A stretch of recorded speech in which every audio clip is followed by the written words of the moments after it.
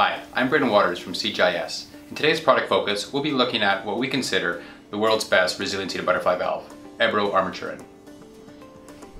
One of the crucial aspects with the Ebro design is three stem bearings. There's two in the top and one in the bottom. This assists with smooth operation and also eliminates any side loading potential in the valve. The other feature of the Ebro butterfly valve is found within the seat.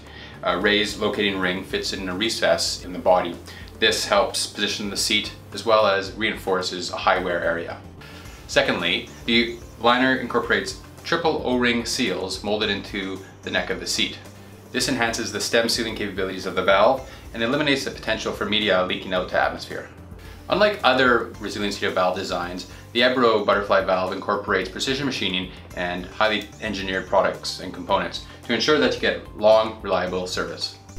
So that's a quick look at the Ebro Z011 resilient seated butterfly valve. Hope you found this informative and look forward to working with you in the future.